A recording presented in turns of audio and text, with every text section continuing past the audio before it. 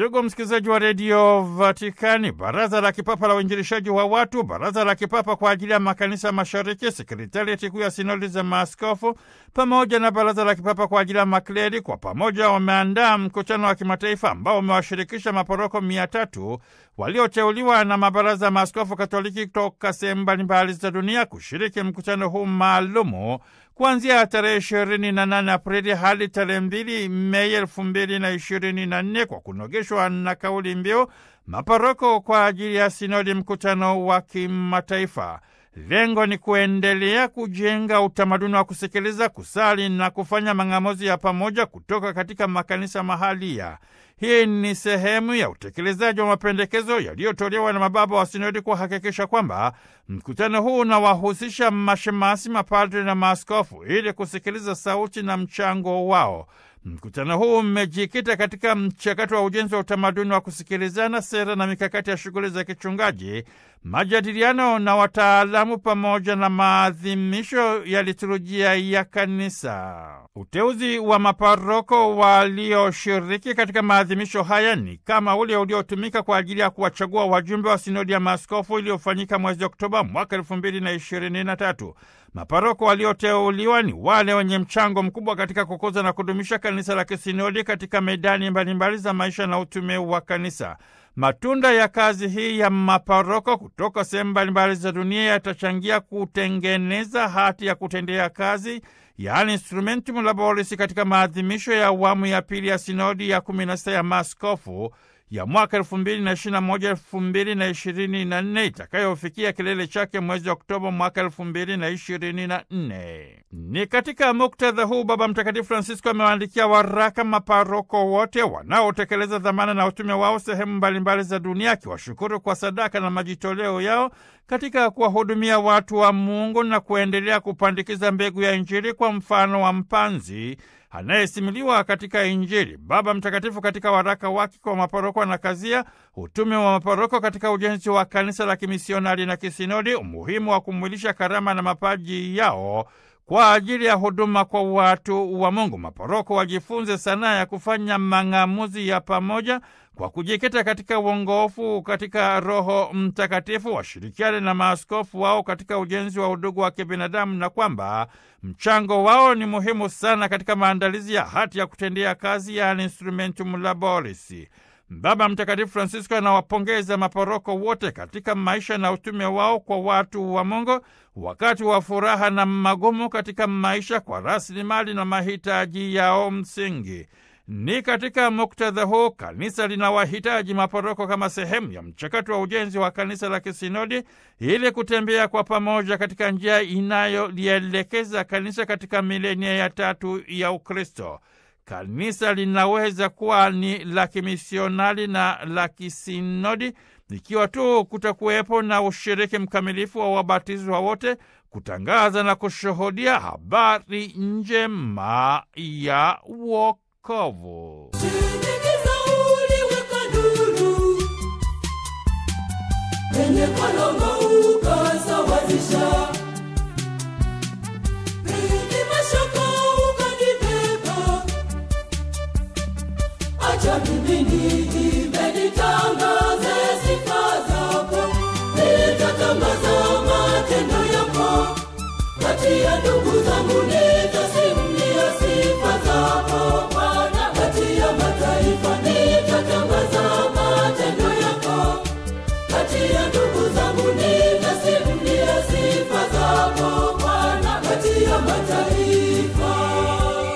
Ndugu msikilizaji wa redio Vatikani, wanaparokia wanaitwa kuwa wahudumu wa Injili katika jamii, familia, mahali pa upakazi na katika medani mbalimbali za maisha. Jumuiya za kiparokia ziwe ni mahali ambapo wabatizi wanatekeleza dhamana na wajibu wao kama mitume wa misionari, ili kushiriki furaha na maajabu ya Mwenyezi Mungu kwa njia ya ushuhuda wa maisha yao. Huu ni mwaliko kwa maparoko wote kujisadaka kabila ya kujibakiza kwa ajili ya huduma ya sala, mang'amuzi, ari na mwamko wa kitume ili kuhakikisha kwamba huduma yao inakwenda sanjari na mahitaji ya kisinodi, changamoto inayowekwa mbele ya viongozi wa kanisa katika ngazi mbalimbali, kwani wameitwa na kuwekwa wakfu ili kuwasikiliza watu wa Mungu wakiwa na uhakika kwamba neema za Mungu Mwenyezi zinawaambata kwa kujikita katika mambo msingi, yaani kutangaza na kushuhudia habari njema ya wokovu, na pale ambapo jumuiya ya waamini inapokusanyika katika kumega mkate. Maparoko watambue kwamba wao ni wajenzi wa kanisa la kimisionari na la kisinodi. Baba Mtakatifu Francisco anaorodhesha mambo makuu matatu yanayoweza kusaidia kubadilisha mtindo wa maisha sanjali na shughuli za kichungaji ili kukuza na kudumisha mahusiano na mafungamano ya waamini walei. Maparoko wanapaswa kutambua kwa hisia za imani karama ambazo ziwe ni ndogo ama kubwa, zinajaliwa kwa walei kwa mitindo mingi mbalimbali mbali. Mambo msingi katika mchakato wa uinjilishaji pamoja na kuibua karama na amana mbalimbali mbali katika uinjilishaji na kwa njia hii watakuwa na furaha ya kweli kama mababa katika uinjilishaji bila kuwamiliki wengine, bali kwa kuwapatia fursa ya kuweza kuchangia katika mchakato wa uinjilishaji. Ndugu msikilizaji wa redio Vatikani, Baba Mtakatifu Francisco anawataka maparoko kujenga utamaduni wa kufanya mang'amuzi ya pamoja kwa kuhakikisha kwamba wanajikita katika uongofu wa Roho Mtakatifu, mchakato ambao umeonekana kuwa na manufaa zaidi katika maadhimisho ya sinodi ya maaskofu na kwamba wataweza kuvuna matunda mengi kutoka kwenye medani mbalimbali mbali za maisha. Ikumbukwe kwamba mang'amuzi ya pamoja ni sehemu muhimu sana ya shughuli za kichungaji kwa kanisa la kisinodi na la kimisionari. Mchakato huu unapaswa kumwilisha pia sera na mikakati ya shughuli za kichungaji ili hatimaye uweze kumwilishwa katika maisha ya kikanisa kwa kuhakikisha kwamba kuna kuwepo na mgawanyo wa dhamana na nyajibu mbalimbali miongoni mwa wahudumu na hivyo kupanga yote mitarafu mwanga wa Roho Mtakatifu. Baba Mtakatifu anawataka maparoko kuhakikisha kwamba wanajenga na kudumisha udugu wa kibinadamu na maaskofu wao mahalia ili kuhisi ule ubaba na undugu, umoja na ushiriki katika jumuiya zao. Haya ni mambo ambayo maparoko wanapaswa kuyamwilisha kwanza kabisa katika uhalisia wa maisha yao, na kwa njia hii wataweza kuaminika katika maisha na utume wao. Hili ni hitaji lililojitokeza wakati wa maadhimisho ya mkutano wa kimataifa wa majiundo endelevu miongoni mwa mapadi uliofanyika mwezi Februari mwaka elfu mbili na ishirini na nne mjini Roma na kuhudhuriwa na wajumbe mia nane wakiwemo mapadri, maaskofu na waamini walei. Wajumbe wote hawa ni wawakilishi kutoka katika nchi kumi na nane.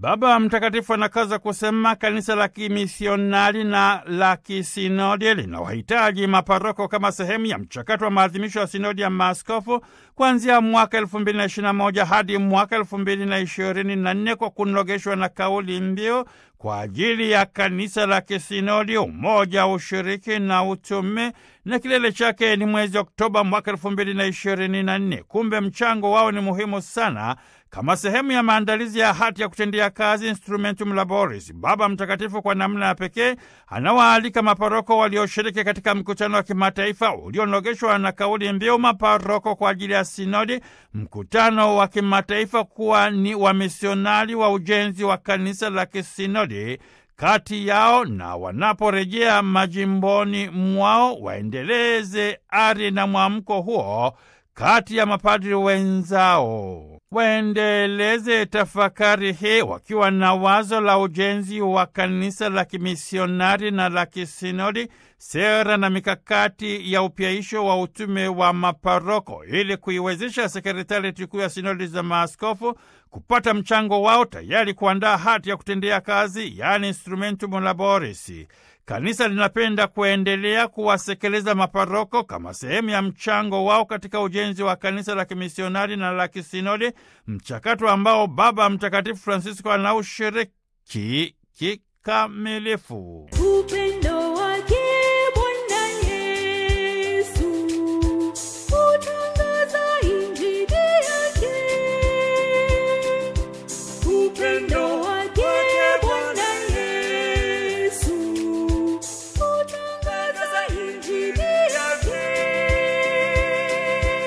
Ndugu msikilizaji wa redio Vatikani, Baba Mtakatifu Francisco mwanzoni kabisa mwa maadhimisho ya sinodi ya 16 ya maaskofu mwaka 2021-2024 Jumamosi tarehe 9 Oktoba 2021 alitoa hotuba elekezi ambayo ni msingi wa maadhimisho ya sinodi katika hatua mbalimbali za maisha na utume wa kanisa kwa kunogeshwa na kauli mbiu kwa ajili ya kanisa la kisinodi: umoja, ushiriki na utume. Watu wa Mungu wakajitambua kuwa wao ni sehemu ya kanisa la kisinodi, tayari kutangaza na kushuhudia ufalme wa Kristo Yesu kwa kushirikiana na binadamu wote, kusikiliza kwa makini kile ambacho Roho Mtakatifu anataka kuyaambia makanisa. Huu ni wakati wa kuanza tena kufanya hija hii ya kitume kama mwendelezo wa maadhimisho ya sinodi ya kumi na sita ya maaskofu iliyozinduliwa kunako mwaka elfu mbili na ishirini na moja na itafikia kilele chake mwezi wa Oktoba elfu mbili na ishirini na nne. Hii ni sehemu ya barua kutoka katika sekretarieti kuu ya sinodi za maaskofu kama sehemu ya maandalizi kwa ajili ya kanisa la kisinodi na kimisionari, hatua muhimu kuelekea sinodi ya mwaka elfu mbili na ishirini na nne. Sekretarieti kuu ya sinodi imekwisha kuchapisha mwongozo utakaotumika katika maadhimisho ya awamu ya pili ya sinodi ya maaskofu.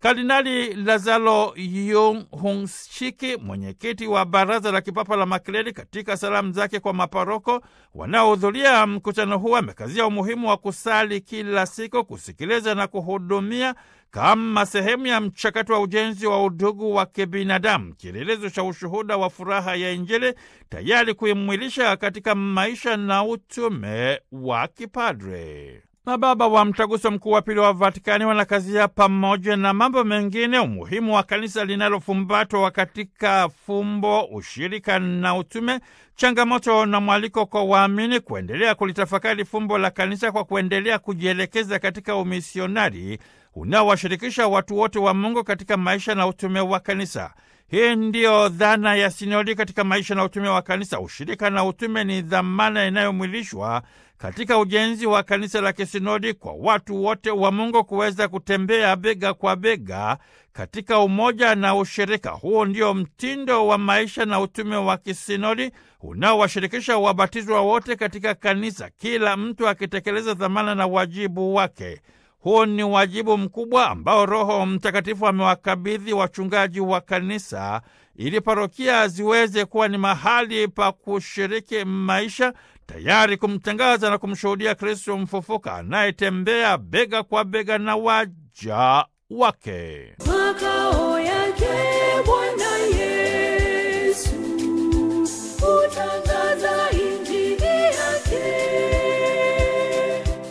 Ndugu msikilizaji wa redio Vatikani, kwa upande wake Kardinali Mario Greki, katibu mkuu wa sinodi za maaskofu, ameelezea umuhimu wa kanisa mahalia kuwa ni sehemu ya ujenzi wa kanisa la kisinodi kwa kutambua kwamba Kristo Yesu anatembea bega kwa bega na waja wake katika furaha, majonzi, matumaini na hali ya kukata na kujikatia tamaa, kifo pamoja na maisha. Lakini kumbuke kwamba haya ni matokeo ya historia ya maisha ya mwanadamu ambayo Mwenyezi Mungu anaendelea kuiandika bado katika maisha ya waja wake parokiani, majimboni na katika jamii ya binadamu katika ujumla wake. Ni sehemu ya mchakato wa ujenzi wa kanisa la kisinodi ambalo linatembea pamoja na Kristo Yesu kama sehemu ya utekelezaji wa historia ya Mungu katika maisha ya mwanadamu na kama sehemu ya uinjilishaji wa kina unaogusa mahitaji ya mtu mzima kiroho na kimwili. Ikumbukwe kwamba paroko kimsingi ni mtu wa watu kwa ajili ya watu wa Mungu ambaye yuko tayari kusoma barua kutoka kwa Kristo Yesu iliyoandikwa na Roho Mtakatifu.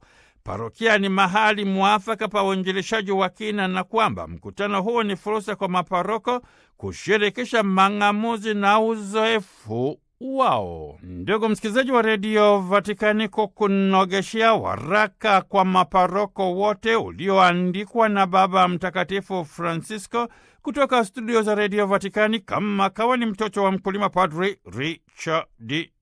Mjigwa. Wekeni tumaini lenu katika nuru, ili muwe wana, ili muwe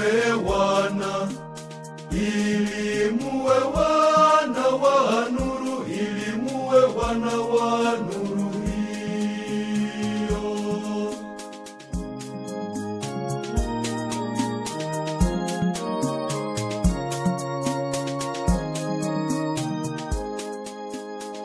Enendeni duniani kote, duniani kote,